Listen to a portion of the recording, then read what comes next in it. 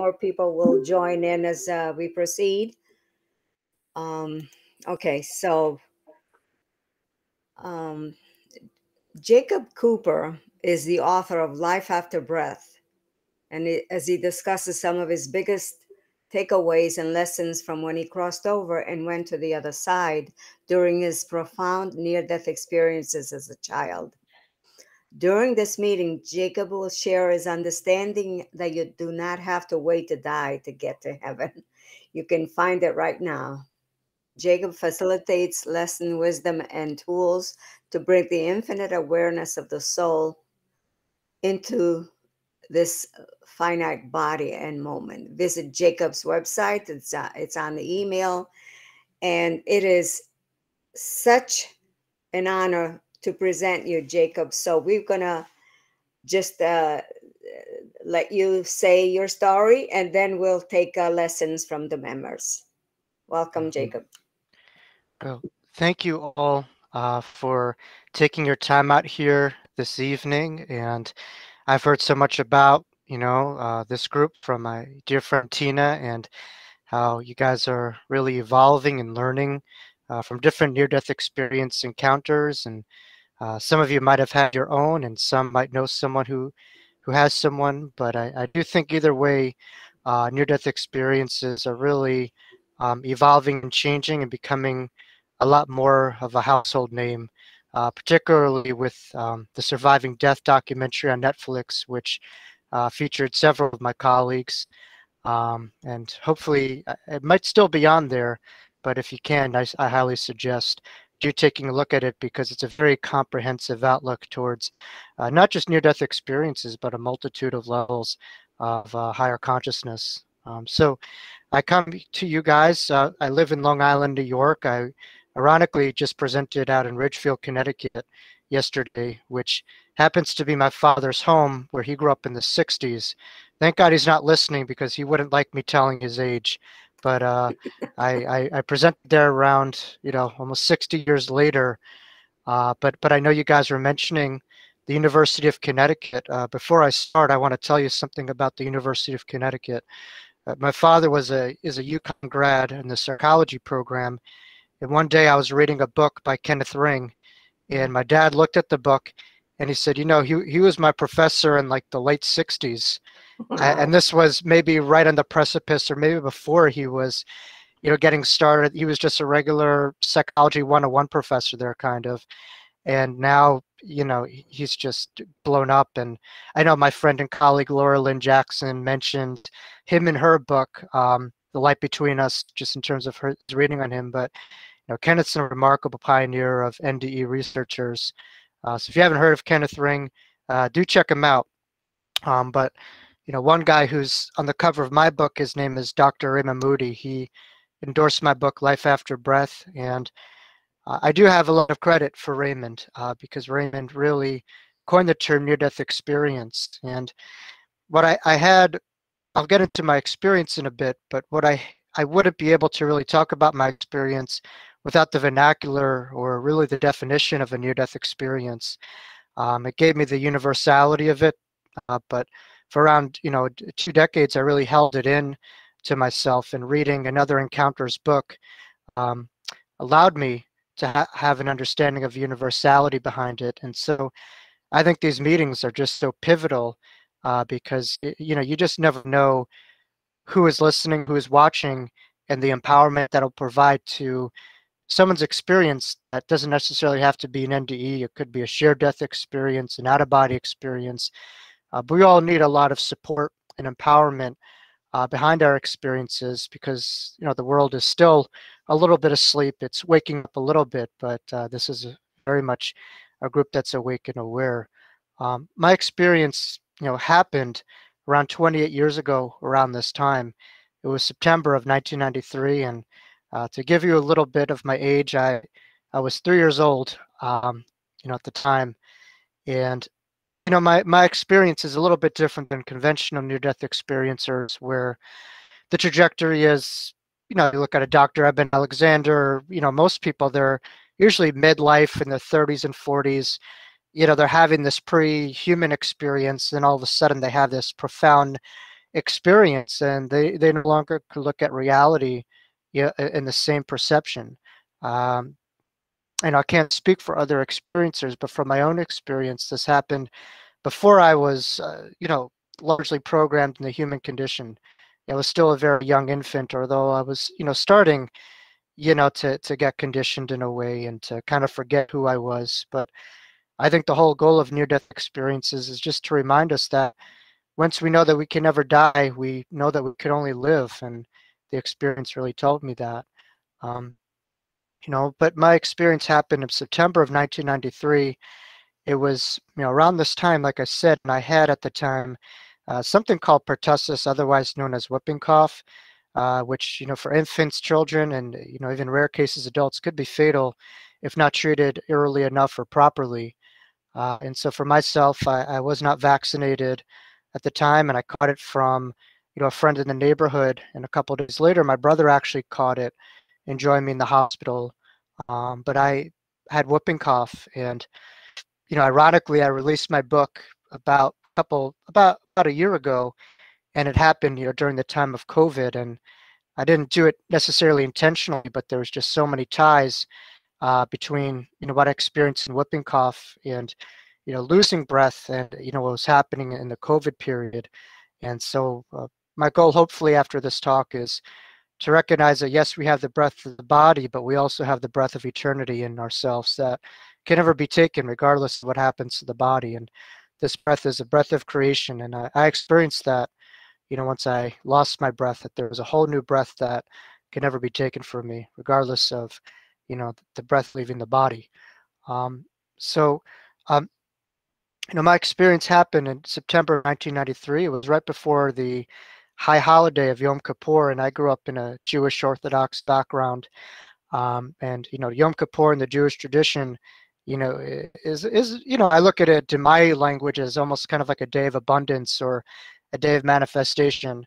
Uh, but it's really called the High Holiday, uh, High Holy Day, where your soul is preparing itself to to meet the Creator and trying to rid yourself of any ill will or negativity or um, a thing that you might have done, so that you're ready to, to, meet the creator to manifest a year of prosperity abundance you know health well-being you know all that um, good stuff.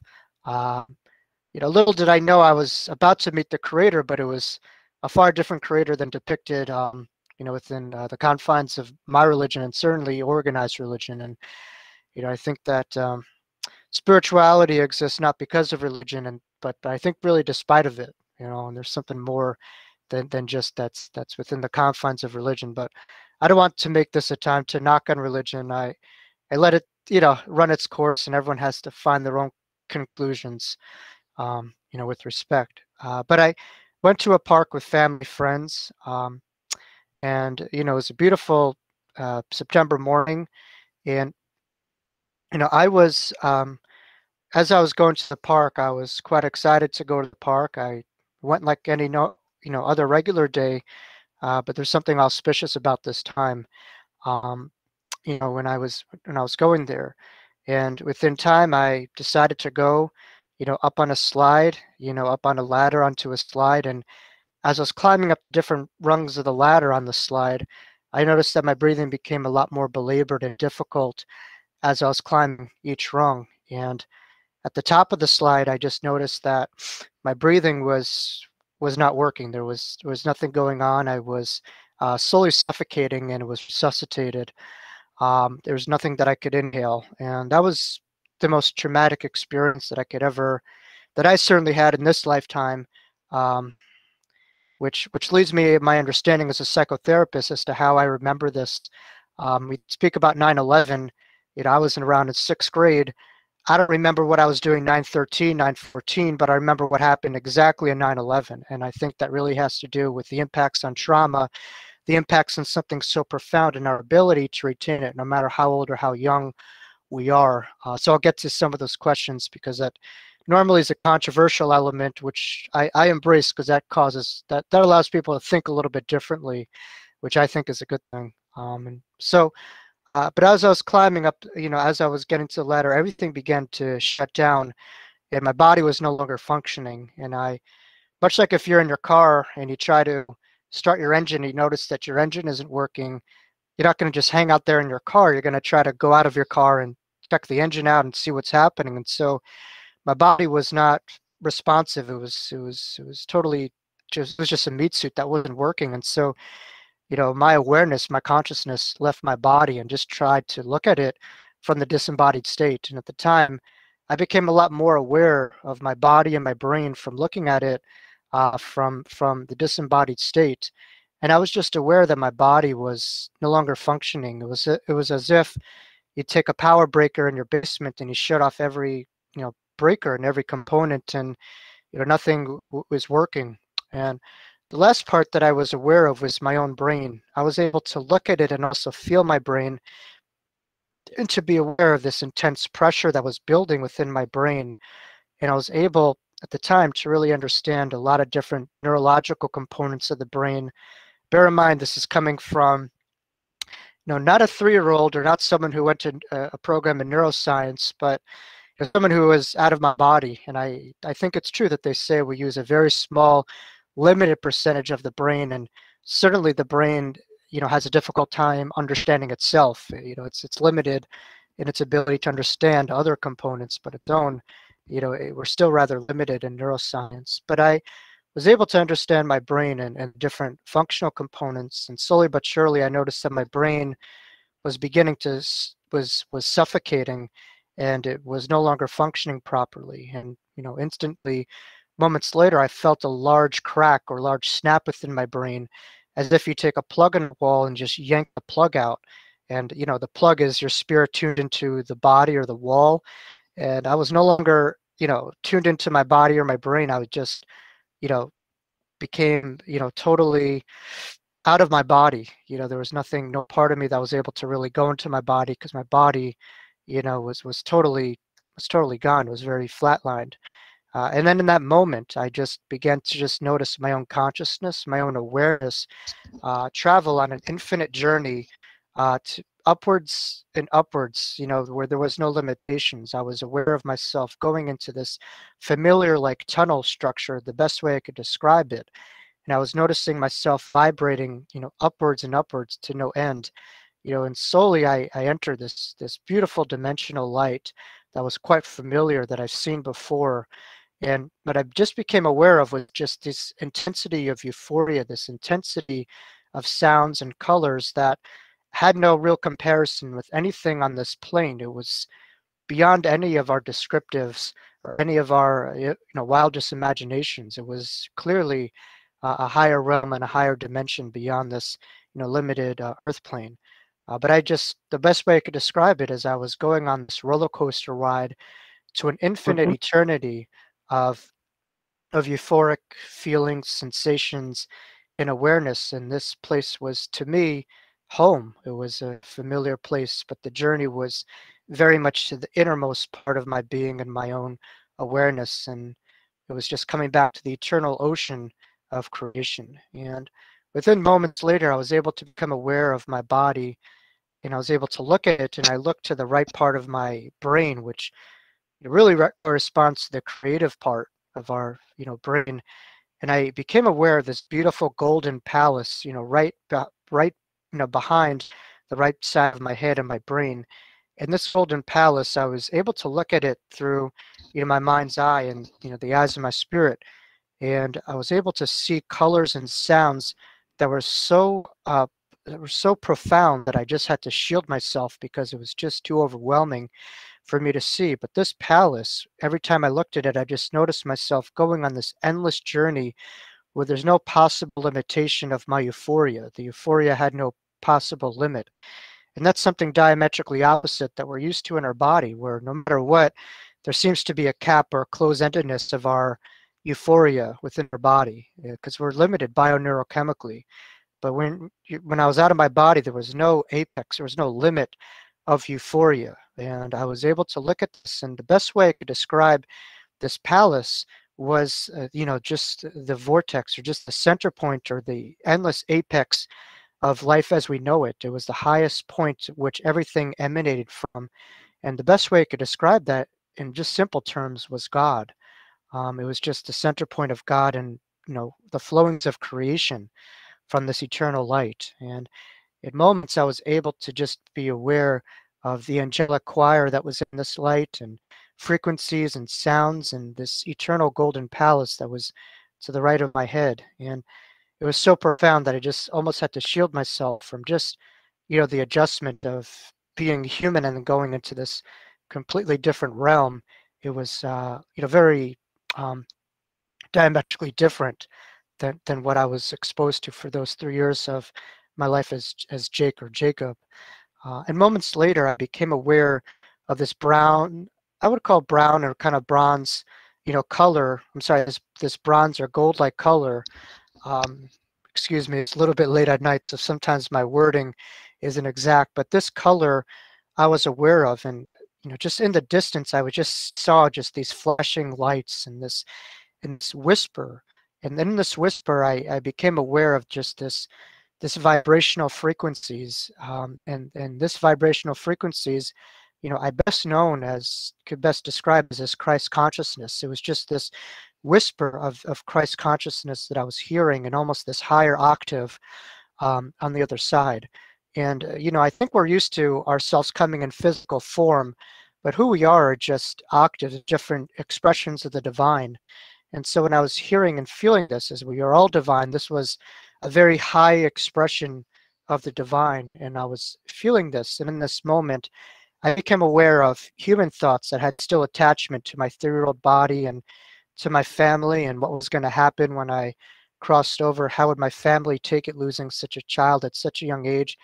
Uh, what would happen? What would I look like, you know, if, if I held on? And if I leave this behind, I, I'm leaving, you know, uh, what could have been, and I'm and I'm leaving it all behind. And moments later, I was just very much uh, enveloped in this radiance, warmth, uh, and the best way I could describe it is is all is well, all was always well, and all will always be well.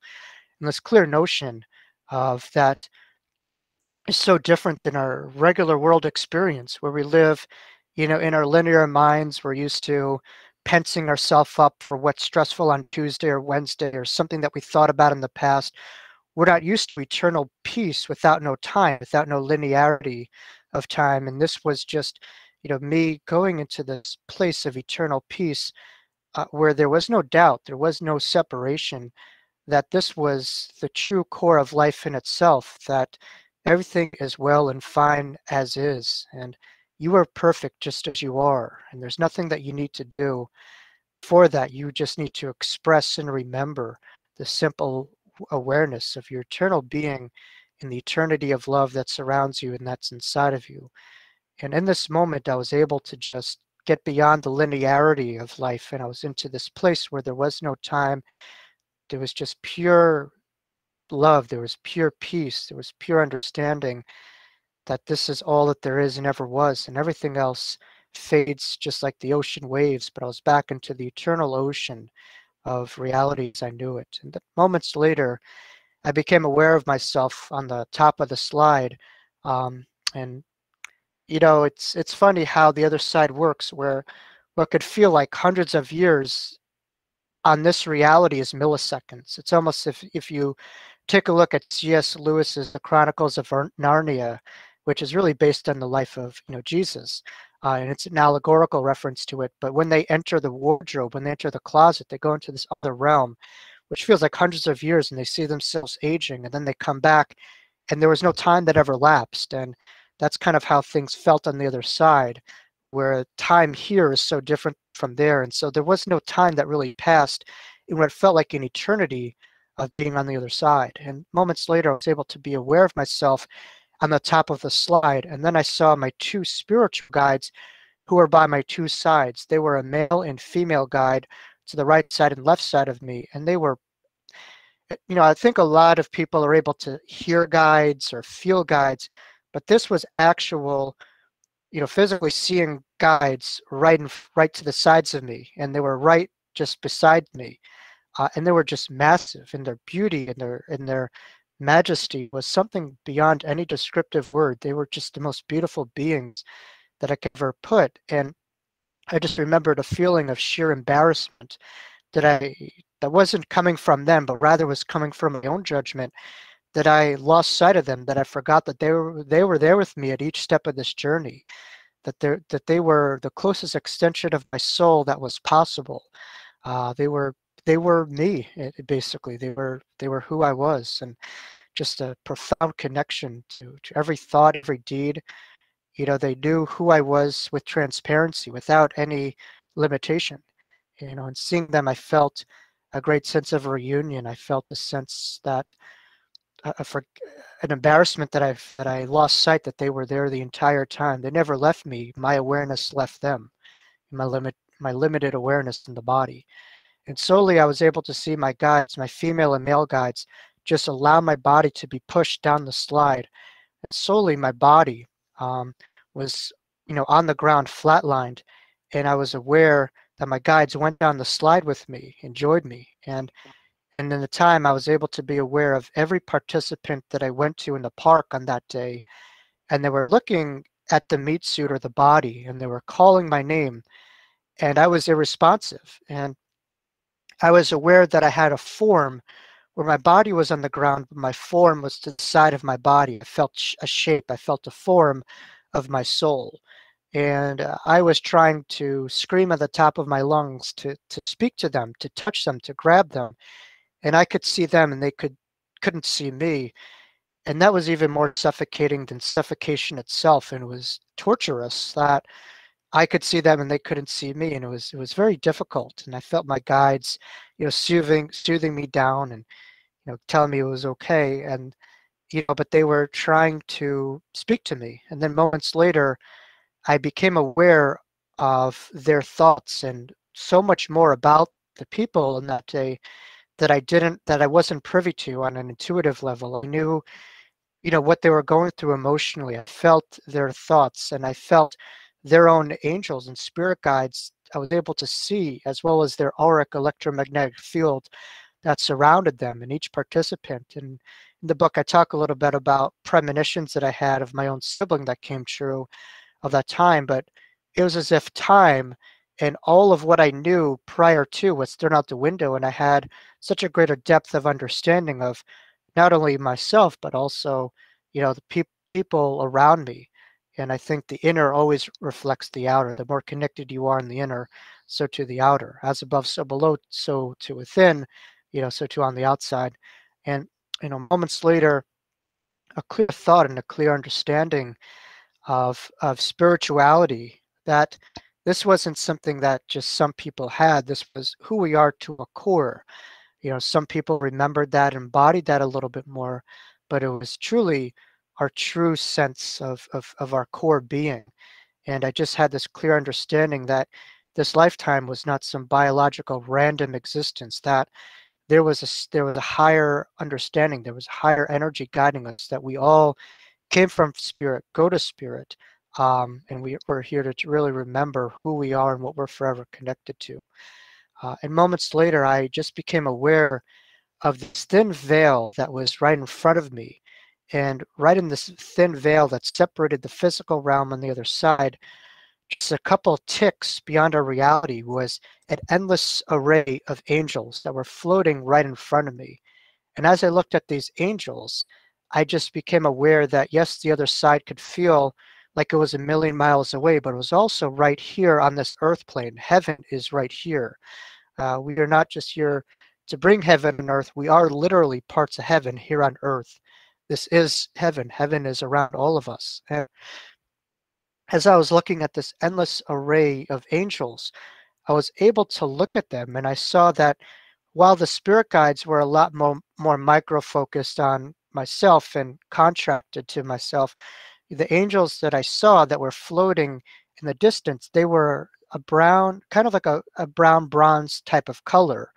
And when I saw them, you know, I could feel their own vibrations. I could fear, feel their own, you know, sound. It was so intense. It was so loud when I was able to see it.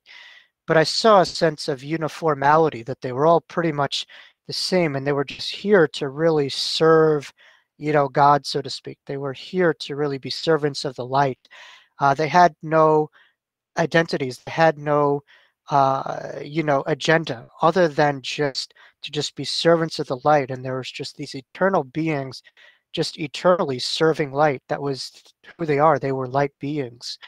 And in the moment, I was able to feel and sense the radiance of light that they were sharing to the planet at large, and how all these angels are here right in front of us at all times, all around us. It's just this thin veil that separates us through the limitations of the body and our own consciousness, their own vibrations. But a couple of ticks, a, couple of vibrations beyond this reality is an endless array of angels. Um, and moments later, I became aware of my own soul family members that were able to come very slowly in the distance. And as I saw them, I again felt that same similar sense of embarrassment when they came in front of me. That wasn't coming from them. They were very warm and they embraced me fully. Uh, but but it it came in a sense that I you know it's almost as if you're you have a, a big party and you're going to the military and everyone celebrates you and you have all these big plans. And then a week or two later you say oh it's not for me something like that and you just come back.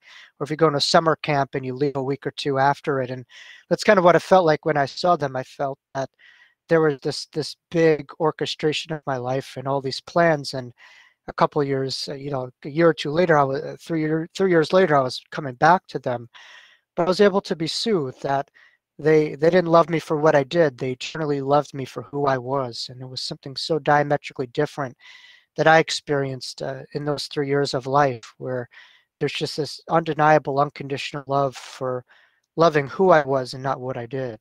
Um, there wasn't anything that I needed to do to earn that degree of love. And moments later, I became aware um, of, a, of a pivotal choice that I needed to make. And this choice, you know, happened, um, you know, in a sense of uh, asking me what I would be doing if I was you know, going to stay on the other side with the light beings and my angels and spirit guides and and God as the best way I could describe it as, or you know, I would I continue living my life as as I was. And I said if if I did uh, decide to stay, you know, what you know was the what was this life about and why was I here and what what would become of this life? Uh, I wanted some certainty. I wanted some guarantees you know, to to sell me that this lifetime outweighed the other side. And you know, in moments later, I became aware of different images, um, and I was shown different screens of other different carnations in which I chronicle a little bit more in Life After Breath. Uh, but the most, um, you know, recent uh, scenes that really struck me was a life in which I took my own life in my last carnation, which evidential mediums, psychics, and intuitives have been able to pick up prior to me going public and the different scenes and everything that happened was able to have evidential readings and evidential uh, information behind what I saw, uh, not only at my near-death experience, but also sub- subsequent, you know, past life recollections as a child and young adult. Uh, and in those moments, I just became very emotional with the different students that I taught in that lifetime, while also remembering, you know, the moments and the different scenes and when I took my life and when I did cross over to the other side and the feelings of my back being against the wall, of seeing no hope or no end. And I saw clear parallels with the karma that I have of, of this experience, which was to truly remember, you know, that regardless of what happens on the outside, what's in us is infinitely greater than any challenge in front of us. And what real, what is real can never be threatened. What is unreal can never really exist. And only the eternity of love as who we are is the only thing that is truly real and it was a lesson that I needed to remember in those moments in which I felt paralysis to really help people out in their own moments. Moments later, I was able to be aware of different participants that I would be speaking to, you know, in my life to really bring this message, you know, to allow people to re-remember who they are and what they're infinitely connected to, um, and letting go of what we've been taught. And um, I said, as beautiful as the other side is, you know, this message um, is is profound because it told me that you didn't need to die to get to heaven. That we could live right here in this lifetime. That the body didn't need to separate us from the other side. That we didn't need to wait till get to that point. We could really embody it within our everyday lives by really being connected to this inner being, this inner eternity within ourselves, and you know, really connected to that place and living from the inside out. And from the power of choice, I said that I, as beautiful as the other side is, that's that could wait. This unique window of time was something that I wanted to really be a servant of, was something that I really wanted to serve, love, and remember within every life, with every moment that I had.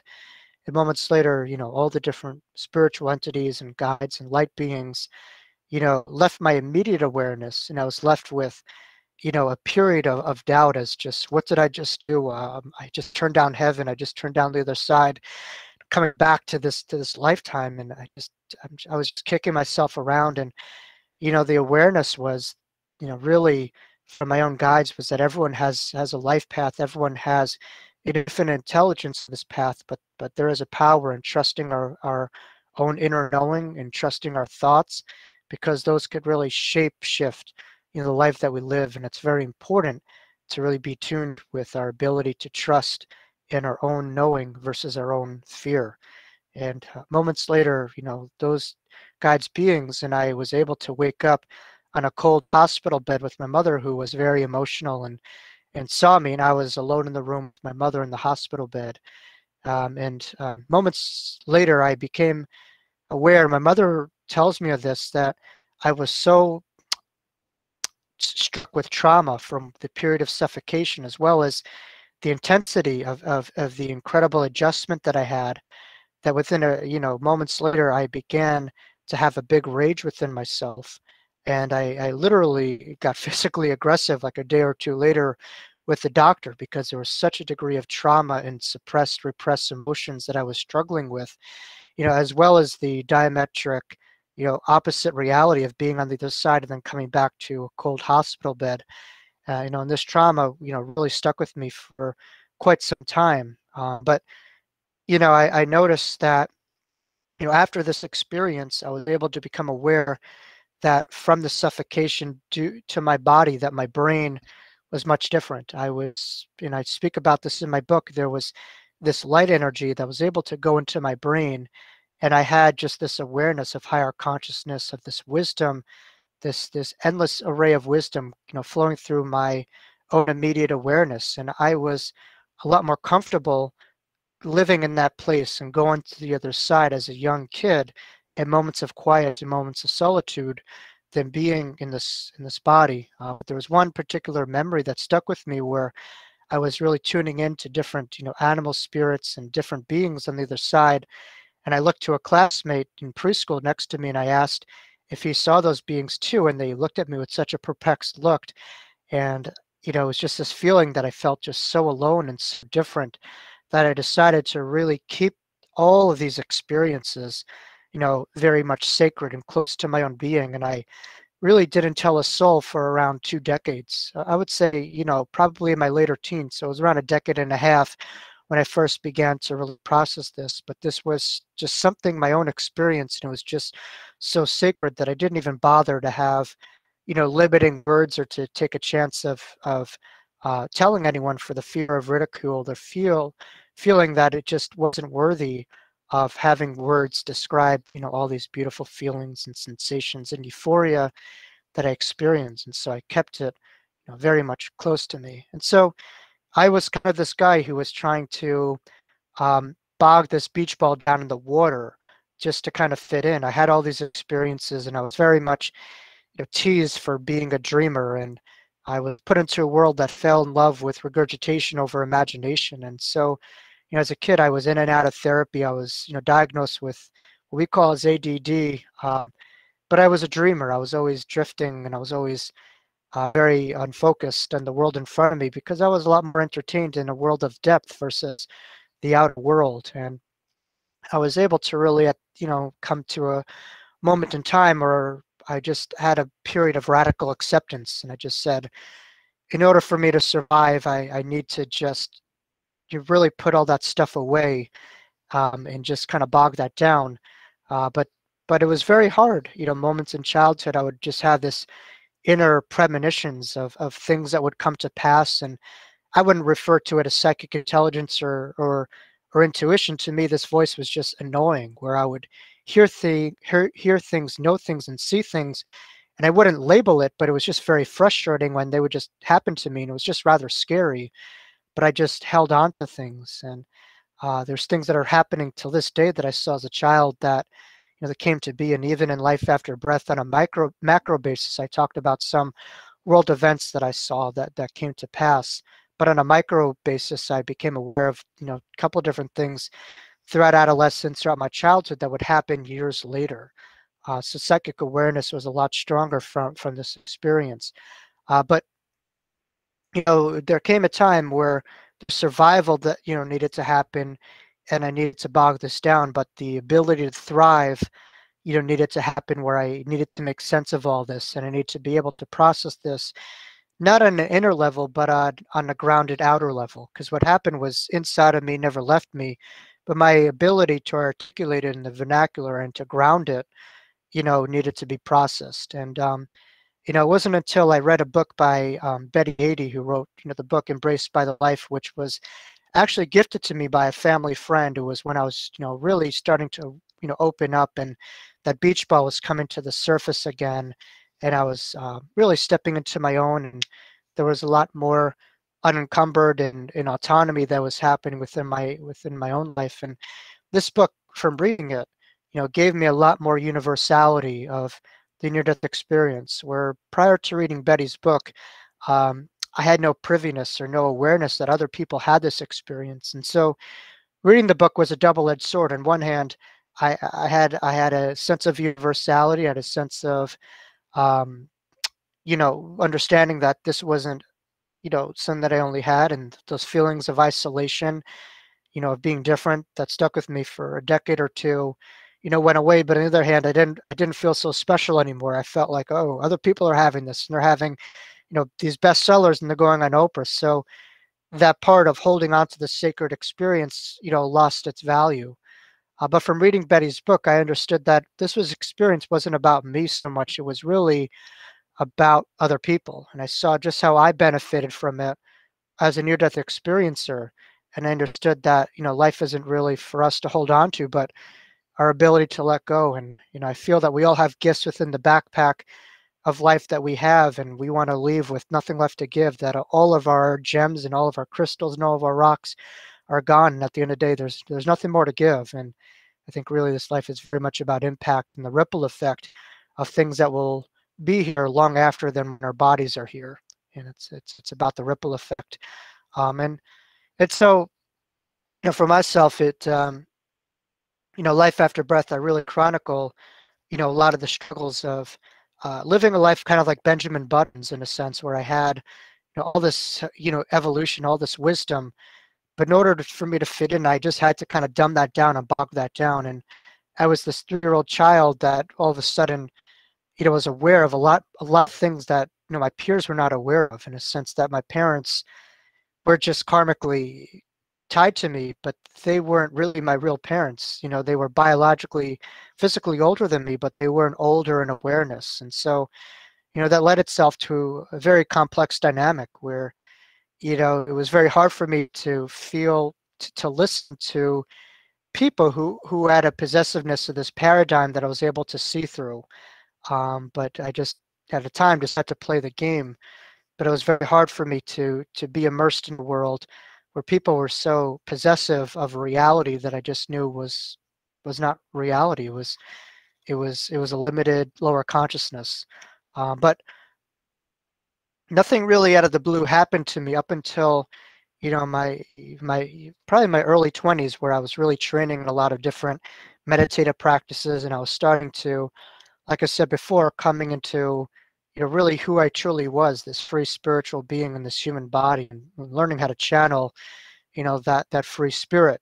Um, moments later, I a couple years later, I began training, and I just noticed, um, you know, myself that that there was one day, you know, where I, you know, remembered where I just literally woke up and was out of my body, and I just this was an experience that I felt, you know, a sense of like, here we go again. I'm having another NDE or you know, the trauma came up again of having that, but this time I wasn't suffocated. My physical body was fine, but this was an OBE that I experienced. And this went on for several weeks where I literally was looking down on my body and I was able to be aware of the different energies that I had. And um, I became a sense of emotional where there's there's periods where I just couldn't couldn't stop crying or I just couldn't stop laughing. What it felt like was every part of the tension that I had in my physical body was going away as if you take a wet towel and just wring every part of you that was was tense. And your my spirit was able to be opened up from letting go of all those bricks in the hot air balloon. Um, and i was able to really rise in this hot air balloon of awareness. And there was moments you know where once again you know around two decades later of the high holidays again of september you know around this time around two decades ago where i was in a synagogue and I was aware that my third eye was just exploding, and I felt a slow blinking eyeball that was just wet and pulsating. It was right in the middle of my eye. It was slowly blinking on and off, and I was able to feel a fire right right in my lower back, and a, in a like an ocean-like sensation in my own head, and just this energy that really was was intensifying. And moments later, I felt wings building within my own shoulders, and I was able to just ride wings of my own spirit totem, you know, which was, you know, riding the entire room. And I was riding to the side of this and around it. And when I was riding on this my animal totem, I became aware of this energy that united each participant, each congregant within the room. And this was kind of this, it was like this thread of energy that connected each participants. And I saw how people energetically were always connected, but they had their own egocentric thoughts and identity that they that was blocking them from the oneness that I saw, this this ocean of oneness. And in years past, I would read, you know, read through a couple books and philosophically understand that. But this was a knowing. This was happening right in front of me, much like my near-death experience. And I just saw this on a profound basis, and I saw that we are indeed all interconnected beings through this one strand of energy where there is no separation other than our own limited awareness, and that you cannot not be who you are. You could think that, but you could not not be who you are. And who we are is just this eternal spiritual beings having this human experience, you know, infinitely connected within our own oneness. And I, I was able to really take that in and just saw how limited we truly are in our bodies. So many people within their own thoughts, their own separate egoic constructs and identities, and how that really could separate ourselves from the true reality at hand. And that's something that really I stick stick with every day, how we're truly all you know infinitely connected.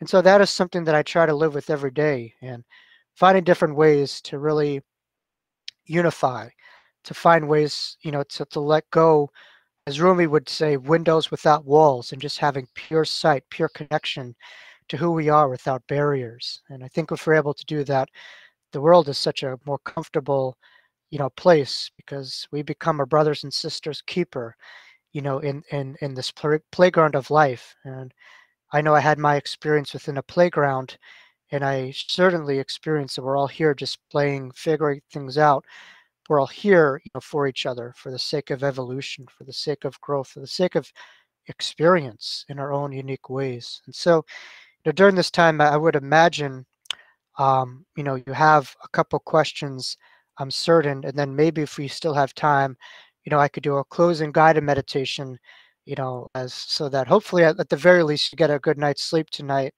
Um, you know, after the last, you know, couple days that we had with, especially with the 20th anniversary of 9-11 which i know for a lot of my friends who are spiritual seekers and myself included was, was really a time of transformation and just when our consciousness shifted from you know getting off the programming of, of reality as we know it to say that in any moment reality as we know it could be taken away and you know how do we want to live our lives? How do we want to view it? And do we want to view it you know in the temporary day-to-day programming or do you want to view it from a larger you know broader perspective? And you know, I know, um, you know, there's a saying that we want to change the morning of life into the afternoon of life, and I know that that that sta- that statement is by I believe Dr. Carl Jung, um, but but that means is changing the life that we've been programmed to in the morning of life, where it's about competition, it's about playing the game, it's about getting ahead, you know, to to to to to go far, and then once we recognize that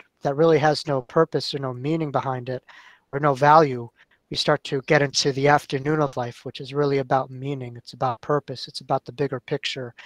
And certainly through um, traumatic experiences, through difficult experiences, we could have a higher value system of what's truly real, what's truly important, versus really rather what's temporary and not, you know, real, not that important, and letting go of the programming of the morning in life to get to the afternoon. And so if you guys have any questions, I'm not, I might be a young guy, but not so technically yes. astute. So please do ask. Jacob, uh, uh Greg uh, has uh, his hand up. Go ahead, Greg. Okay. Um, hi, hi, Jacob. Um, hi, hi, Greg. Thank you for sharing your your experience. Um, here's what's fascinating to me, and I just, mm. um, and this is just curiosity. I can't remember being three. You uh, know? No. And I, I, I can't I can't really either. Um, yeah. So I guess yeah. I'm wondering if this uh, remembrance of your experience happened later in life, like just came back to you later, because it's so mm. detailed and so much more mature than a three year old mm. would, mm. would understand. You know. Yeah. No, that that's a wonderful question. You know, Greg. Um, what I would say is we're not our chronological age as we know it. Um, this experience wasn't happening to me, you know, at the core as a chronological being. I mean, part, I still had attachment to that, but that three year old body was not the totality of who I was. Who I was was an infinite encyclopedia, it wasn't limited to that one page in one particular time frame.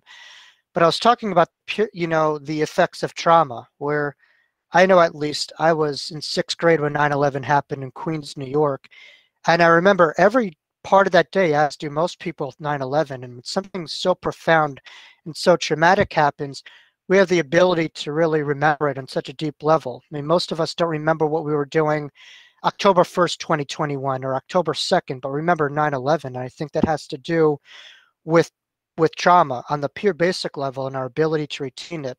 That and this experience was not produced by my brain. It wasn't produced by my linear brain it was it was happened at a place in the disembodied state. It happened on the on another realm. And it was such a profound experience. It wasn't it, it doesn't defy conventional memory. You know, it was something that happened not to my memory, but just through my being.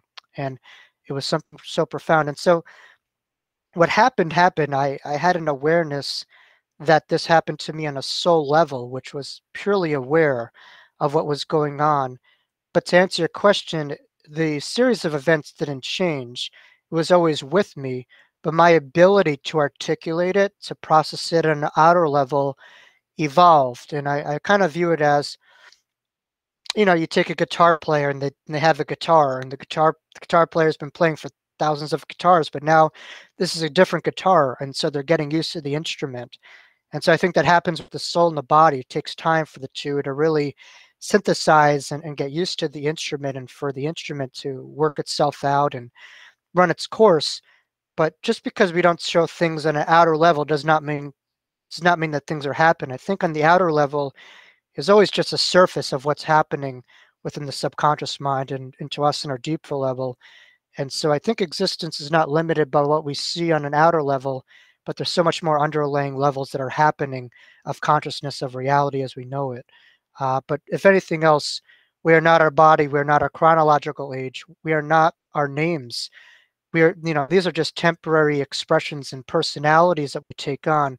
But beyond that, we are infinite consciousness, just using this temporary body, this temporary lifetime as a, as a way to express itself, as a way to evolve, know itself. Beyond that is this infinite consciousness, you know, far beyond this temporary ego, this temporary body, this temporary name. Hopefully that makes sense. Yeah. That was a great question. Okay, uh, the other Laurie has her hand up. Go ahead, Laurie. Hi, hi. Thank you so much for sharing your transformative experience. My pleasure, Laurie. Thank you. Um, I did have I have a number of questions, but I think one of uh, the thing I'm most interested in is could you describe the um, angels and the beings that you saw it sounds like you had were able to see quite a few different kinds of mm. angels like your guides uh, just in uh as what shape or form were they just a light being or um right the guides i have a very hard time describing because just just the beauty of them was so big. It was just like this this big, massive, you know, light that was coming to me and, and the most beautiful faces and the most, you know, beautiful beings that you could possibly describe with looks that we can't describe, but they had a human element to them with just this mixed angelic features. And I think spirit guides are the most grounded to me. They have, at least from my experience, they have the most awareness of what it's like to be human. And, you know, they're the most earth based in a way. Whereas the angels that I saw, they were floating very peacefully up and down in front of me. And bear in mind, when I was looking at this, I became aware of a thought that just was like, is this really happening? I, I still had my own human, I still had my own consciousness. I still had my own human thoughts. And so there was like this, there was two things going on was just this knowing what was happening, but also this um, incubation period of still that voice that was there. So there's like two, you know, awarenesses happening, you know, and eventually as time went on, I was able to really come into this this place of pure awareness. But you know, the angels were I would say kind of like a gold or, or bronze kind of color. And they were very young. Um, I describe them, you know, I guess the word is cherubim, or they're very, you know, young or childlike angels. They weren't mature in their presentation, whereas the spirit guides were were mature, kind of middle age, whatever. These the, the angels that I saw in front of me were very childlike, and I could be aware of their own faces and, you know, their their wings, and they were flying up and down. And so I think when you look at art or any creative work, it has to come from somewhere. It just doesn't come from a place of randomness. So I can't say it's exactly what we see, you know, in, you know, in, you know, in churches or you know, in any Christian Jodeos, you know, thing. But there are some some parallels in a way. But beyond that, there's just these colors that are beyond physical colors that we could see. Yeah, I could describe you colors that they were, but when you're going to these colors, they have such a more of, of a depth to them. It's almost like you could feel the colors. You could go through it. It's as if you're on LSD and you see colors, you see them through like a, a deeper lens. Trust me, I don't have personal experience, but from my clinical awareness, you know, it's like you could just see things past the face value and feel it and have, have senses working on a much deeper level. You know, so that's kind of what was going on. But the sounds, the sights, and and just the awareness there's just this infinite like army of, of angels that was right in front of me floating very peacefully and they were all very uniformal whereas the spirit guides that i saw were distinct. I was able to see okay this is male and female you know their names and stuff like that and i they had the most earthly like characteristics but at the same time they eh, they were just so otherworldly beyond this reality that i just I'm sure to describe that because they were much bigger and their energy was just, you know, much larger in a way too. So. Thank you. Thank you. Yeah, my pleasure. Any other questions? Donna. Go ahead, Donna.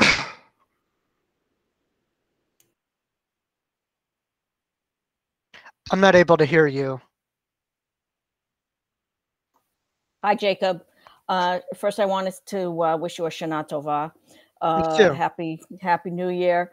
Um, and as a Jewish clergy, a chazan, um, I wanted to just, uh, I had my own experiences mm. and it, it just made me aware of so much more to the world and to God than what was what I had ever learned in mm. in my faith.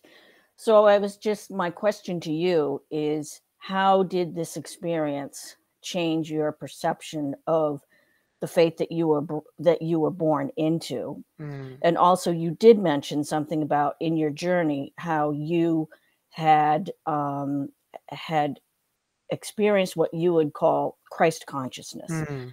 if you could uh, define that for me as well.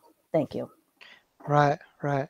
So, I mean, it, it would to you know if you if you purchase my book, it, you'll be able to have a lot more of an understanding of what that was like. But for time's sake, it was it was rather difficult uh, because there's this monopolization, you know, of truth. But but to me, it was something outside of myself. It was something that was that was taught to me, and having this experience, I, I had an understanding that truth as I know it was in my own backyard. That wasn't, you know, in the hands of someone powerful or someone holy, but rather something that I had within my own backyard. And so it was kind of like this Pisces, this Pisces Aquarius kind of thing, or this, you know, kind of thing where it's just like this tradition versus, you know, um, you know, you know, freedom and, and innovation. It's something outside of it. And so uh, it was a struggle. I, I remember getting, my mother will attest to this, that I once got in trouble from from going in a playground, ironically, where this happened, and screaming at the top of my lungs that your God does not exist.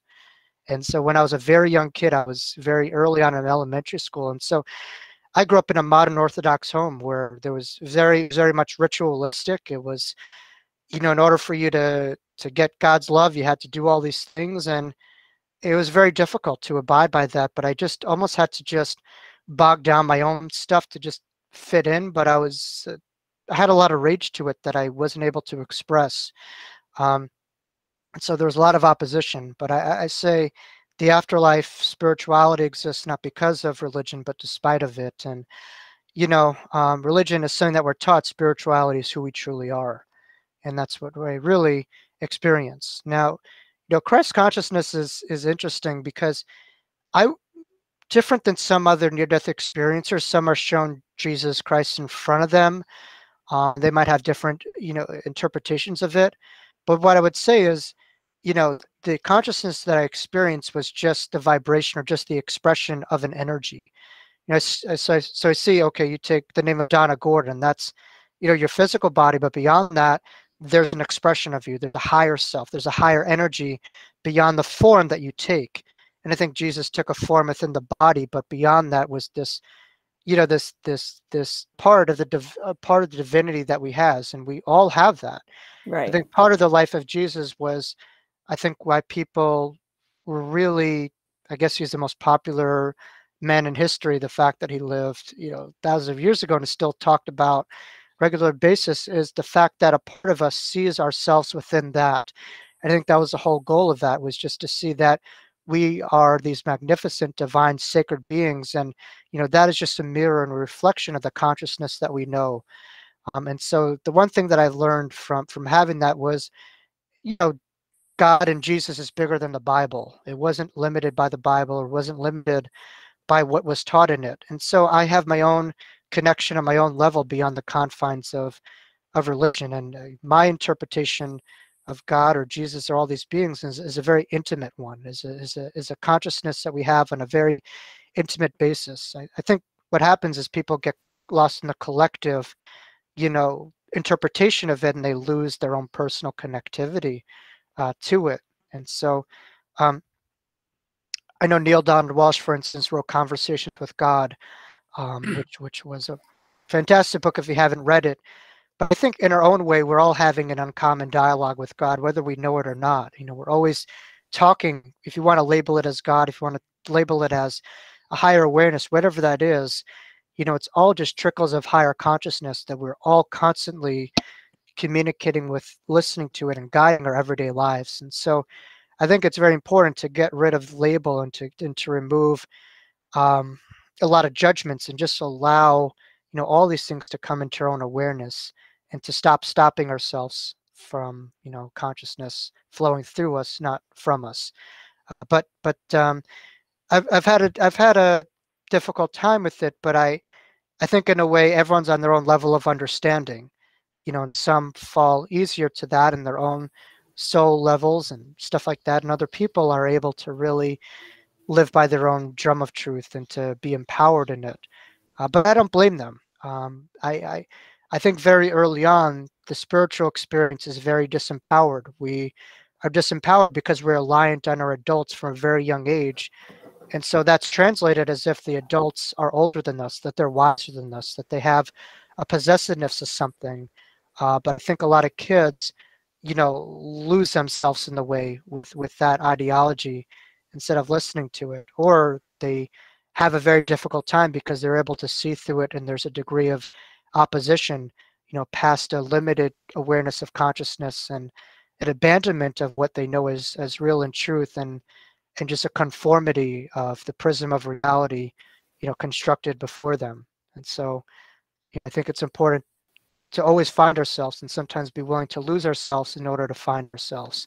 And that certainly happened within a lot of transformative experiences. And it's a very vulnerable place, but also the most rewarding position of our life that we could have. You know. Great. Thanks a lot. Thank you. Jack, you're next. Yes. uh, hello. Uh, uh, Jacob, your picture vanished. Uh, uh, am I? Can Can you hear me, everybody? Hello? I am. I am, but um, let me try to. I am not sure why that happened. I'm able to see myself, but um, sometimes. That, yeah. Okay, everything's back to normal. Thank you. Well, this is really fascinating. I mean, I moved to New Jersey to be my wife and I to be near our grandchildren. Mm. A half year old son, John. Mm. Uh, he, he's talking, and uh, uh, you know, his uh, expressions are really very simple and uh, uh, basically physical, etc. So I find this your your experience as a three year old mm. is amazing because um, you, you, had an understanding of God at mm. the hmm. you had an understanding of heaven, mm. of angels. It's a, now when you had that experience at three, when did you start uh, uh, kind of formulating uh, the verbal expressions of what transpired? I mean, uh, uh, to have that kind of intricate memory is astounding. Now, I mean, of course, you have you have uh, uh, exceptional uh, children. I mean, Mozart was, uh, you know, he was playing. Um, he was playing the piano at five and, and uh, performing. I mean, so it's not. Uh, I'm not questioning you. I understand. There, there is a there's a big jump between your experience at three and this very complicated understanding of of uh, the other side. I mean, it's just mind-boggling. Right. So, when did you start um, formulating uh, or, or, or, translating or recording um, that experience, at, at, you know, of a three-year-old? Right. Well, you know, that's a wonderful question. I this experience, like I said before, is not of a three year old. None of our experiences are. We're not our limited chronological age. We're eternal spiritual beings having this human experience. Um, but, you know, I think kids in general, we really see, or infants, we really see in a very limited, pathologized way. We look at them as blank canvases or synonymous with the body and what's happening but that couldn't be further from the truth. Um, I look at, you know, you could have young people who are very wise and old people who forget. Um, it's not synonymous with intellectual development or psychological, emotional development. Wisdom is who we truly are. It's it's it's a core of our being, and so I look at kids or infants quite differently, where they're reincarnating from the other side. They have a lot more clarity. They're a lot more connected on a deeper inner level um, of their being. They have a lot less separations of, of the of the brain and the mind, which is really just the filter of consciousness. And as we get too much in our own head, you know, the left brain is quite limited. And so for us to come from this from the intellect is very limited. We're talking about the infinite and we're coming from it from a finite mind. Really, in order for us to understand the infinite, we have to come from a greater depth of our own being or, or a greater uh, angle. Uh, because you know it, the finite mind it doesn't understand this stuff and most of us are, are really in that left brain. And so we forget this infinite mind that we have and our ability to understand that all truths are merely simple that they're not complicated that they're in the doorways of our own backyard. And so i was able to have this experience that i really held very much sacred into my life uh, but i tried to bog it down almost to fit in. You know, it wasn't until I read a book by Betty Eadie, which which really gave me a universal understanding of what this was. I, I didn't have a terminology or, or a lexicon for the near-death experience. I just thought this was a profound experience that I didn't even want to bother telling people because it was so sacred. It was so revered within my own heart. And if you ask near-death experience researchers, uh, one of them is PMH Atwater. Uh, she will tell you that it takes you know children or most adults around 20 to 30 years to have the language, the words, and the ability to integrate their experiences. Um, and I, I think that's deadly accurate. It took me around that time not to process this on an inner level, but to have the words to really articulate it. And so once I really read Betty's book, I was able to have words to describe and to have an understanding that people were able to hear this stuff, that I wouldn't, I wasn't going to be ostracized, that there was, um, you know, people who really were able to understand this. You know, so Betty's book gave me a great deal of confidence, as well as universality and lexicon behind the terminology of what I experience. As a psychotherapist, you know, I could really understand the limitation of a diagnosis, but also the freedom that it gives. You know, it's no different than when, say, someone has bipolar, PTSD. They're having all of these incredible experiences that I don't know where to start, where to begin, where to end. And so they really internalize it. There's a lot of it is suppressed, oppressed. And once you say you you have PTSD, you have bipolar, you have you know borderline person, whatever that is, a light bulb flips off, and all of a sudden they take a lot more ownership and empowerment of their experience, and they're able to integrate themselves in the world instead of hiding and bogging down all those emotions. So you know there is a power, you know, to words. There's a power to vernacular. There's a power to diagnosis, uh, but it's also important to not be limited by that and to take ownership of each experience as a unique entity in itself. Well, okay. I, I, I still haven't been able to make the connection between the experience, the, the very complicated, sophisticated experience at the age of three, and when you started to. Uh, uh yeah. did, did you actually recall the details of that? Yeah. Yes, it, it, it was all recalled. I was all remembered. Uh, it was all there. Um, you know, my suggestion would maybe, you know, because I know we have other people with hands. My suggestion would maybe to email me, you know, some of your other questions or to sit with it for for a period of time. Uh, but to answer your question, it was all there. I just very much kept it, you know, close to me, and I wasn't, uh, you know, talking about it or putting it that out there. You know, so you know, I well, hope the, that makes sense. Yeah. Uh, the many NDEers that have heard their stories over the past 35 years, mm. it doesn't matter how long ago it happened mm. 20 years, 25 years when they finally talk about it, they remember it in detail. Mm. And so I'm trying to understand uh, uh, the, the, how uh, the the memory. Well, you, you, know, you, you talked about feeling your brain uh, at, the, uh, at that time sort of hmm. snap on or something. I mean, I, hmm. I mean, the brain is incredible, and and, and uh, so uh, I'm not questioning it. I'm, I, I, I yeah. Three year old, where you recorded this information, wow. and 10, 20, 30, 20 years later, you you started to uh, uh, uh, record it and ex- explain it. That's all. So uh, my question is, when did you start looking into it? Is, well, I, it, there, there was always a time where I was looking into it, but I, you know, started publicly. I would say in my mid twenties was when I first started publicly talking about it. So. And why, why in your mid twenties? What was turning you in, in, in that direction? That's when I was really able to process the experience and make sense of it. So, yeah.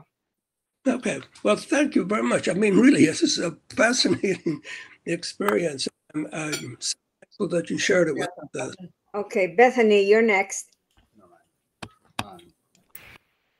Wow, Jacob, thank you so much for um, sharing your story with us. My pleasure and I really have enjoyed the questions um, and your responses that my colleagues, my peers, uh, my friends have asked. Um, I have two questions. One is about guides, and the other is about your OBEs. Although I find the hmm. experience you had in the synagogue to be um, very interesting as well. Um, but the, the guides, I wanted to ask if your um, guides are available to you um, if you ever reach out to them, um, if they're available to you at any time. They, they always are, uh, but you know my ability to see and feel them isn't as clear as my, within my own near-death experience, obviously. Uh, but it's like a trickle of consciousness, and you know my own brain, you know, I think really blocks a lot of that pure awareness and being in the body. You know it's harder in many ways to have that degree of clarity uh, but they're always there. And you know every day i wake up you know asking my guides for a message of the day or, or something that you know people need to hear. And so they always come to me on a daily basis where i have daily posts and daily messages and i and i hear them. And you know they're always talking through us. We may not notice it you know when we make that turn and all of a sudden you know an accident happens or you're that person that we need to call we hear that whisper and we just call them. We haven't thought of them for years and they're going through a difficult time. You know so spirit is always talking you know our job is really to trust you know and listen. Um but i communicate them usually you know later at night when my brain starts starts to slow down a bit. Um you know it's when they're really able to come a lot easier. I think when we're too much we're doing too much stinking thinking it's hard you know I, I view I view intuition or, or the messages from the guides as if you're in a room and you hear everyone in the room talking and you're trying to distinguish a voice. And that's kind of what happens when you have so many thoughts in your head. And I think when you're quiet within your own mind, you know, in your own heart, the waters of truth, you know, present themselves to you. And I really think, you know, meditation, you know, and learning how to get quiet um, is important but it's important because the quieter you get, the more that you're able to feel a symmetry of a near-death experience. You're able to have rapport as well as a connection with eternity. You're just aware that there's a part of you that exists far beyond the thoughts, the emotions, and doing it consistently, you just know when this body goes, you'll take that awareness with you. You know, that is you at, that at a deeper level you know, and that's something that's not produced by the brain, not limited by the body, but your own soul's awareness. And you take that with you, you know, when the body, you know, has an expiration date. So I think if anything else, you know, having a couple moments of intimacy with eternity is what I view as as meditation, you know, and, and it's on a deeper level. So um, I think the good news is that you, like I said before, you don't have to die to have to to have eternity. And, and more importantly, you don't have to go through the trauma or some of the difficulty that you know some of us near-death experiencers go through with you know talking about our experience and some people question you know it's you're able to have your own experience and unique in, in itself and not have to go through all that degree of trauma or ostraciz- ostracization you know that that people go through and have it on your own level. Um, so i'm almost jealous of people who didn't have this is people are jealous of me but i say wow you know, you didn't have to go through all that degree of trauma and all these, you know, people looking at you, judging you, and all that stuff. You could just be you. Uh, but I wouldn't trade it for anything in the world because I think it's it's about others and it's about having that ripple effect and reminding people of who they truly are and what they're infinitely connected and letting go of what we've been taught and some of the limitations that our own mind presents. Hmm. Um, thank you for that. I find you a very eloquent speaker. Um, I wondered about the OBE experiences that you talked about mm. as well. Um, and I didn't capture all the details, mm. but I wondered is um, you, you spoke about having a number of them in succession. And I wondered um, if that was something that you invited or something that was helping you resolve something. You know, I think in a way, any transformative, profound experience, I do believe, is in the pre-birth period of our lives. In, in a way, sometimes those timelines of those occurrences happen earlier or later. But I, I view it as if there's this there's this lobster shell that we have, and this this this you know connection with consciousness that we have, and then once we evolve, once we let go of that, we just let go of that shell and have you know a new outlook a new way of being.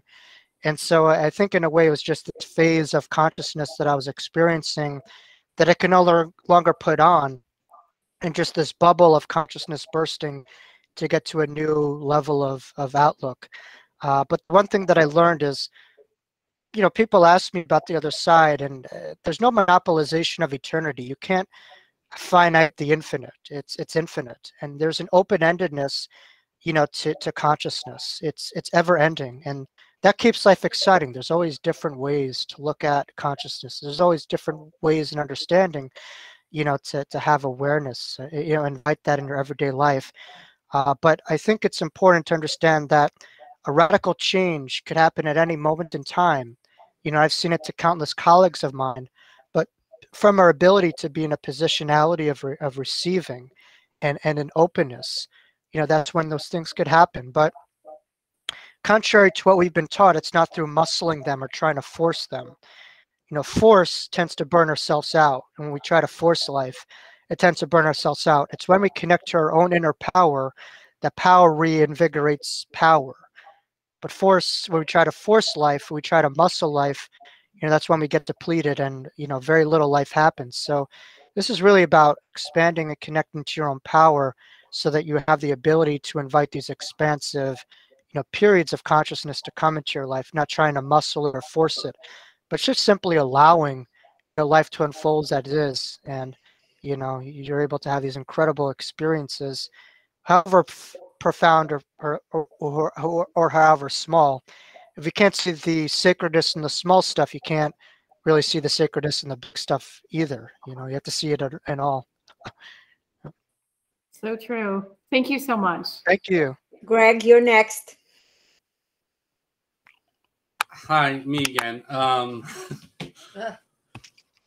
um, so uh, I, actually, I, a couple things. So first, uh, Jack's question and, and I guess my question, which was similar, and, and you're talking about, kind of brought me back. And this is inconclusive to me still. But once at this group, same very group, we met in person. And this was like several years ago when I was actually able to physically go. Um, we always would say, "Hi, I'm Greg," and you know, I'd never had a near-death experience, and someone else would say, um, "That's my kid in the background." Um, someone else would say, their name and then say I had almost like you know, and I had a near death experience. And one of the members of the group actually said, you know, Greg, I think you did have a near death experience. You just don't remember it. And right. and I don't know. I was thinking about that, and I I'd still inconclusive. I mean, maybe I did at one point, and when I was very mm. little, and, and um, maybe I didn't. Um, but the thing I actually, the one question I do want to ask actually is, you're. It sounds like you're a psychologist. Um, and how does your experience play into therapy, helping people? Because you they got to be open to that too, correct? Yeah, yeah. Well, you know, certainly I've I've been able to run a lot of therapeutic support groups, and I use the word support uh, because people, when they go to support groups, they're they're looking to be heard, um, they're looking to be validated, um, they're looking for their experiences to be felt in a deeper level without judgment or analysis and just the ability to listen you know and so i was i was able to run support groups for these experiences uh, but the interesting part is you know the angle that it comes at it. For instance people who have multiple personalities or schizophrenia you know stuff like that it's just interesting to see or differentiate you know if that's you know happening you know on a psychological level or is there is this an energetic thing? There's this there's something happening at a deeper level and it's it's a case by case situation but i just sit to myself how many people have we medicated who could have been profound mediums who have had these experiences? How many people do we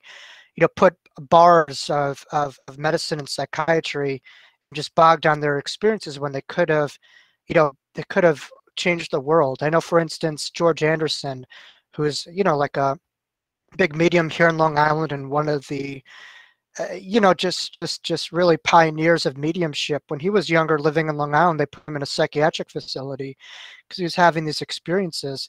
Uh, but but i say at times you're not sick you could be psychic. You know you could have a lot of this stuff. And so you know for myself i i try to look at people from an angle of looking up at them and not down on them.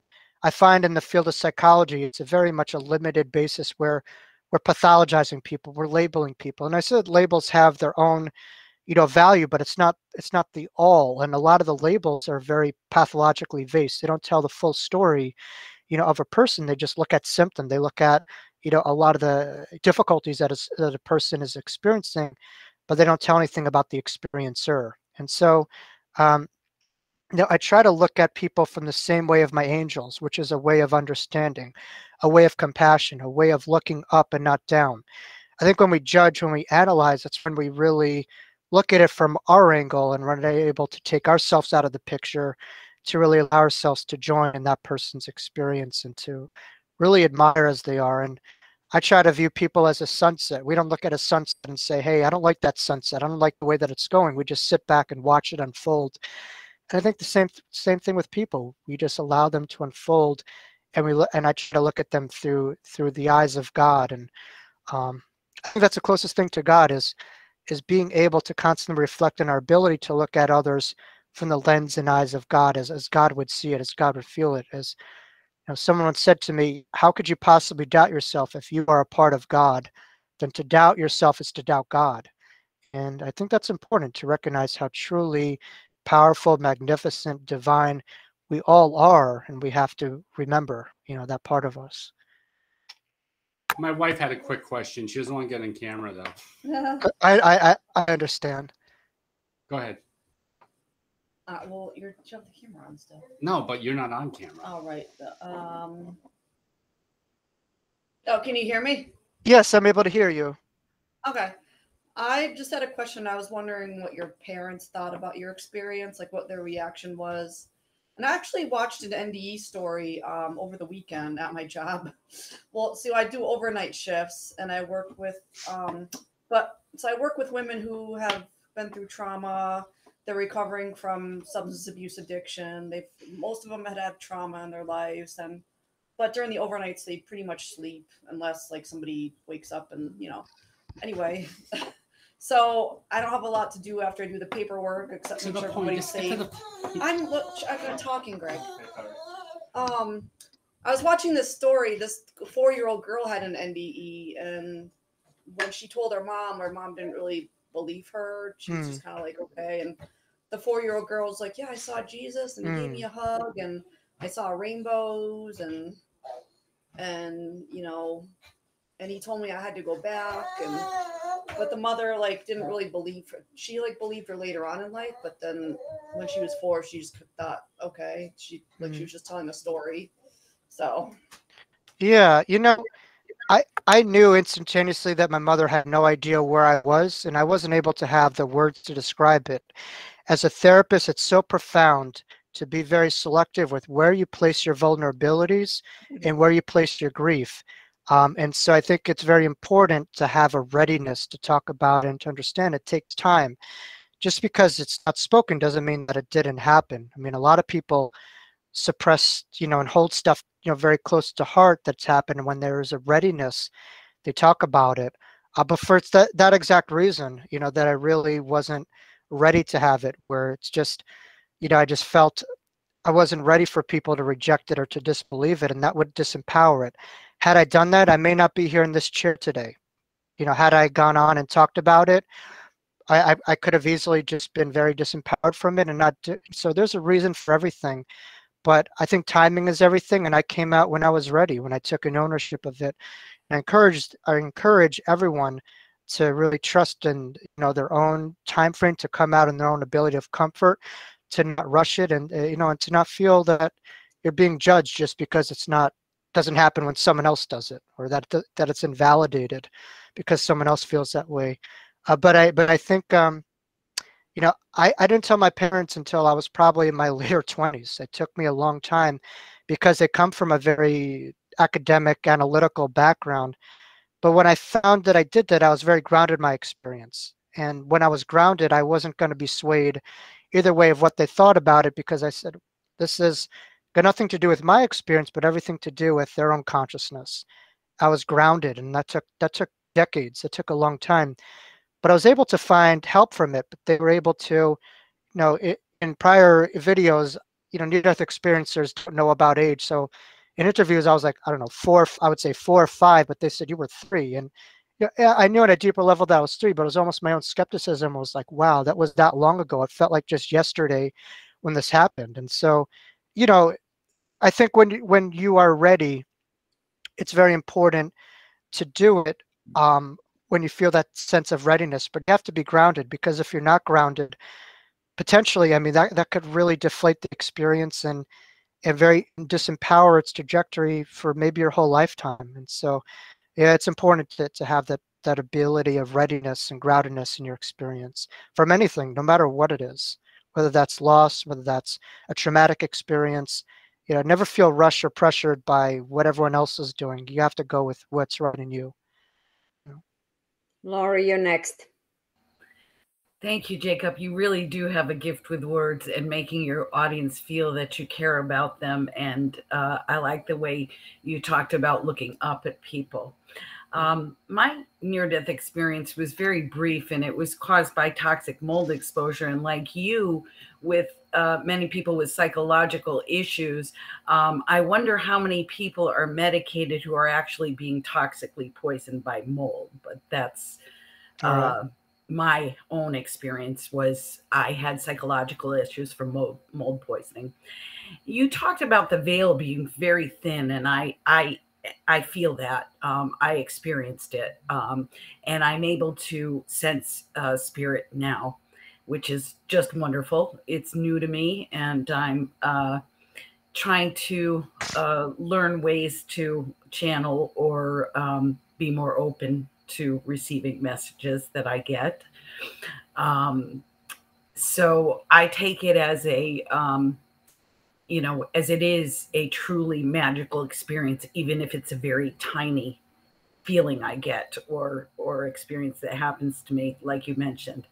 Um, but I was wondering in your uh, in your experience, you mentioned that you were bargaining, that you felt guilty, ashamed.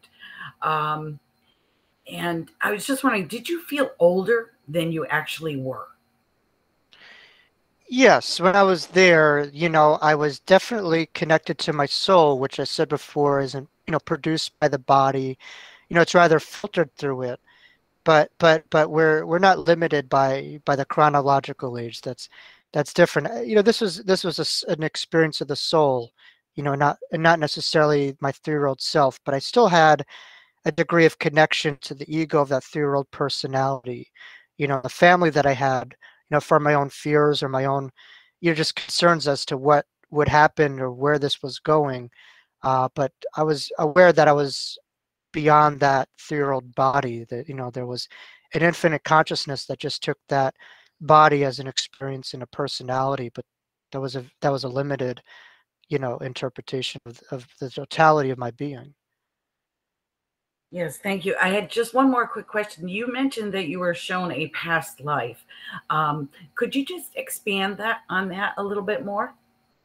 Yeah, you know, if you read my book Life After Breath, you know, I, I experienced a couple different carnations, but you know, the one that was most closest to me was when I, you know, committed suicide. I was a teacher of students, and you know, just uh, I, I, I took my own life. I just my back hit the wall. I saw just you know a period of that lifetime where I saw no hope and you know I just I just took my own life uh, and you know what? That that lifetime was really I do believe from completion would begin you know in many ways and and certainly with suicide a lot of times people will carnate a little quicker you know sometimes and they're not usually on the other side as long but usually your experience you know you're able to, you, want to evolve and, and learn that. I think we all have a deeper knowing of that of, of truth but it's about the integration of it and that becomes a deeper part of ourselves. And so i think there's a lot of allegorical reference to the suicide that i had with my near-death experience but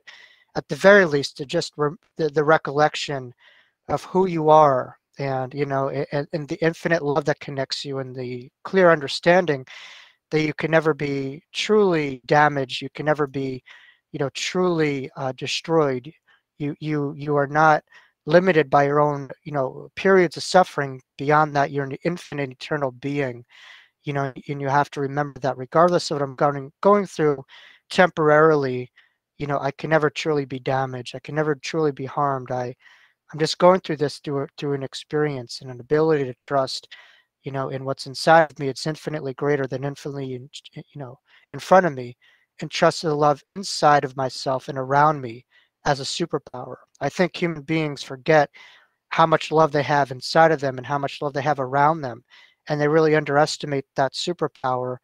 And when the outside world is deprived of that, we have a decision to make. We tap into that infinite part of who we are and what's inside of us, are we disempowered and we are we a leaf in water with the turbulence outside of us? And there's an eye within every hurricane, certainly within ourselves, no matter what's happening outside of ourselves, there's an infinite interconnection. And so having this near-death experience, having the suffocating experience, losing my breath, I could go to the depths of human suffering and tell you that from looking at that straight at the eyes, that infinite light is all that there is and ever was, and everything else is just a mere, you know, temporary distraction or turbulence. Uh, but you know, it doesn't doesn't have much power. It comes back to the nothingness, that which it came.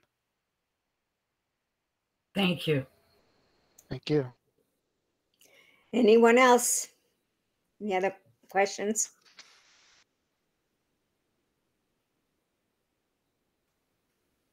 It's a nice mantra to have love is a superpower.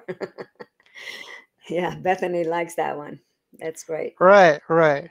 we're, we're taught many superpowers that go, don't get us anywhere, you know, so. Okay, so Sue is next. Uh, great talk. Uh, well, I you. found uh, your information very in depth and uh, really eloquent. So uh, my question is, uh, a lot of uh, people when they have the near-death experience when they are grown-ups, and after the experience, they totally changed, uh, almost like a different person, and they view relationships differently. And it seems like to me they're more uh, calm. Mm. Um, and uh, more accepting of life because you had a near-death experience at a three-year-old of course, you will not be able to compare uh, to a life if you were three and didn't have the experience. So I was wondering, when you have the experience that early on, does it have an impact on your relationships? For example, with your parents, when you're going through, like, for example, teenage years, are you like a typical kid or are you like totally different, can see from a higher perspective? and therefore have um, like a cope with the, the stress and the relationships better with mm-hmm. your parents and relatives. Right. So, um, so that's my question. No, I would say no one is immune from pain. No one is immune from some of the hardships, and I think those experiences are there not to break you, but to but to make you in a way, and, and to allow you to evolve to greater depths of strength everyone has their own unique experiences and their own uh, trajectories. Um, you know, I I was what I would say a very difficult child in many ways, and I do attribute a lot of that to the trauma that I experienced.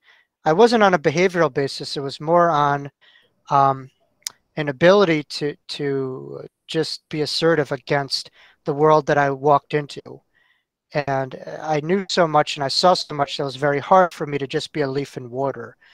It was very hard for me to comply with the value system and, and just the conveyor belt development when I was taken off of this, you know, kind of, you know, conveyor belt, so to speak. And so I had a very hard time having the same value systems of the world outside of myself.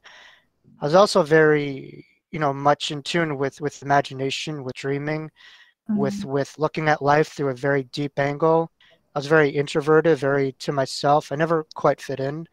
Uh, mm-hmm. Uh, but but I, in order for me to survive, I had to find some stuff, you know, to align myself with peers. And so I found sports to be a, a great universal, you know, outlet, and that's kind of what allowed me to fit in, so to speak. But you know, beyond that, I just when when everything got quiet, I just never felt the same as my peers. I always felt older. I felt mm-hmm. that I was like a grandfather with grandkids half the time. And some of the stuff that I would see was bad. I wasn't behavioral, I just was very argumentative, very stubborn, but I, I call that um, very strong-willed and, and very grounded um, in my ability to just be connected, which a lot of kids aren't. I I wanted to create my own current and not to be a leaf in water from a very young age.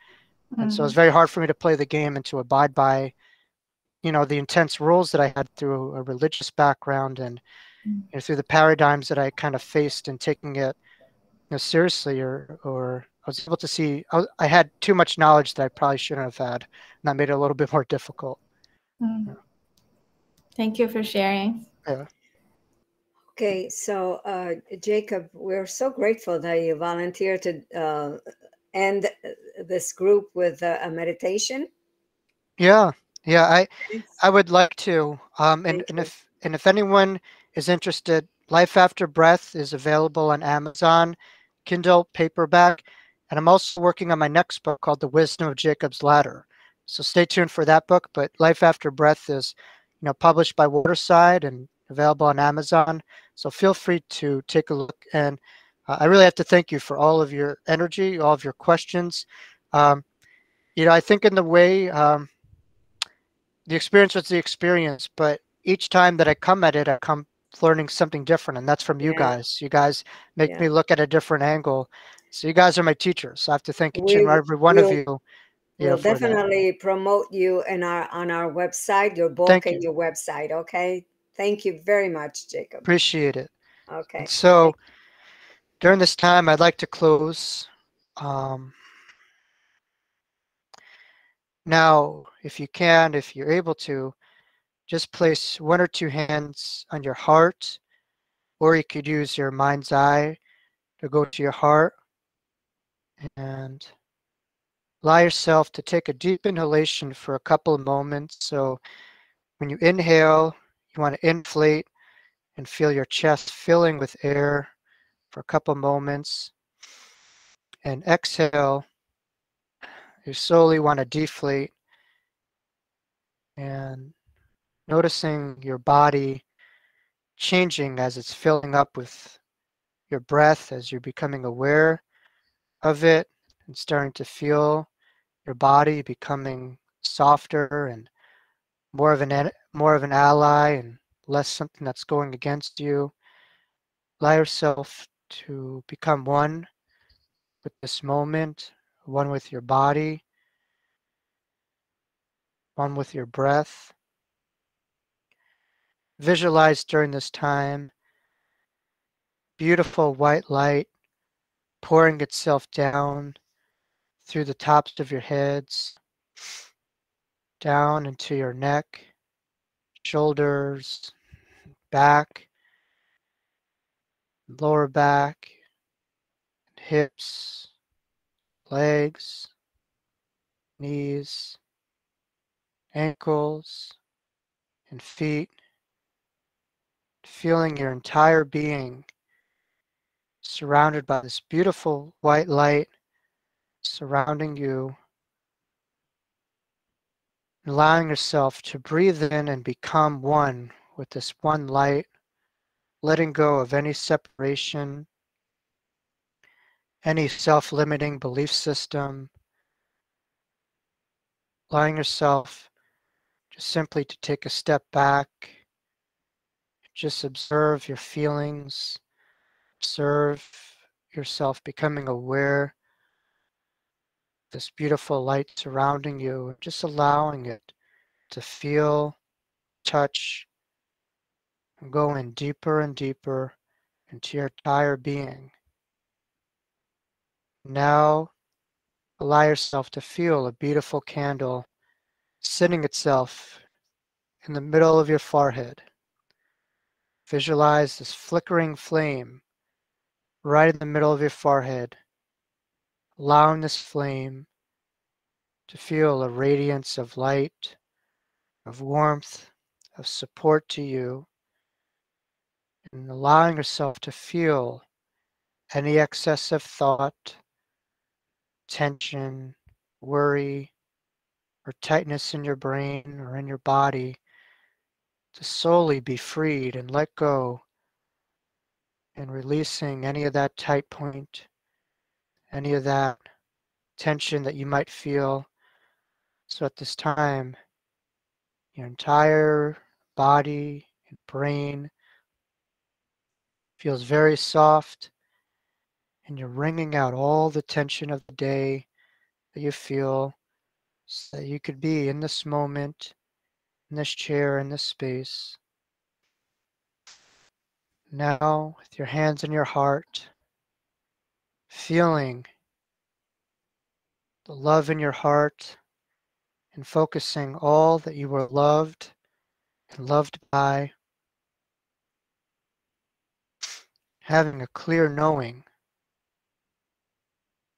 that you are pure, infinite, eternal, divine being, simply having a human experience, a temporary human experience. Allow yourself to take a step back to feel sense and know the beauty and eternity of the soul's journey that you have. Allowing yourself to rise above any worry that you have, anything that you're holding that might be weighing yourself down. Feeling yourself straightening it up from any weight on the backpack that might be holding you down a little bit and allow yourself to breathe in into the depths of your heart for just a couple of moments. Just being in this place of stillness, as stillness truly does speak, and allowing yourself just to simply let go. When you let go, your consciousness and awareness grows. Just simply letting go, allowing yourself to let go. Allowing yourself to trust in letting go, to trust in letting go.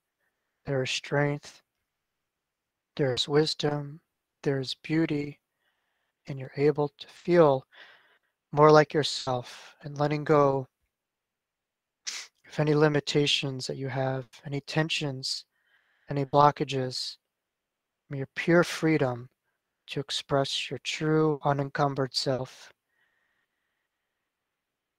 and allow yourself during this time to send a positive thought or energy to anyone in your life that might need a little bit of light in any bit of darkness. Could be your community, the world around you.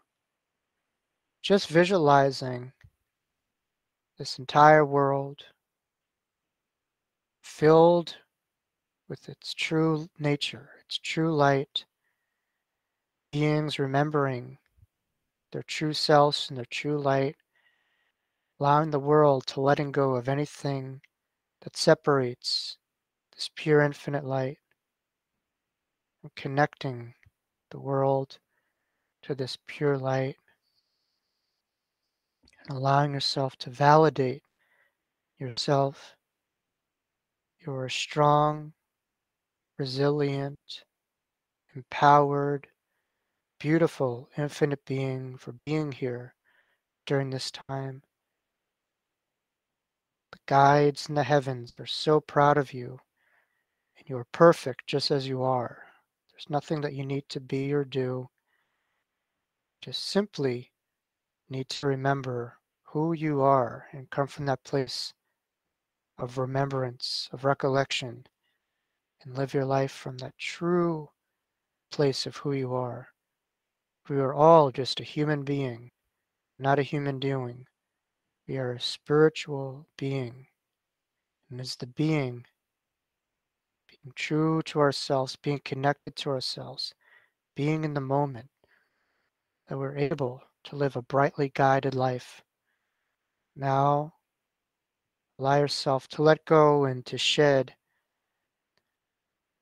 any of past limitations or past judgments that we've been taught, allowing yourself to look at our eyes through the eyes of a child, to curiosity, exploration, wisdom to constantly see ourselves in a more beautiful, more loving, more accepting way, and letting go of, of the eyes of the world. Do not allow the world to take over your mind. Allow your mind to take over the world. And now, allowing yourself to be connected, letting go of what we walked into. When you're ready, smiling to yourself at the beauty of your own being, depths of your strength. And we are just here It's just a learning experience, as an ability to grow. It's just simply just a beautiful experience in time and space. We are so blessed to be here right now, having this unique moment and unique experience with each other. And just simply take all each other in, allowing yourself to feel the love that you are, embrace yourself with compassion, with wisdom, with grace, and feel the love around you that never left you, even if it feels like you left it. And slowly, when you're ready, allowing yourself to come back down to your body, down, down, down, and feeling your body in harmony with no separation, with your pure infinite light. You are the light. Slowly, when you're ready, opening up your eyes, noticing how you're looking up at life and not down on it. You're looking at it through an ability to be present, through curiosity, exploration, and a place of pure joy and pure love. Imagination over regurgitation.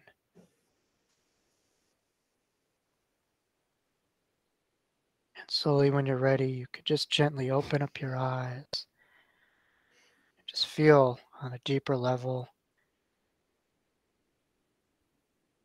Thank you all for inviting your minds, your hearts, your beings to be here.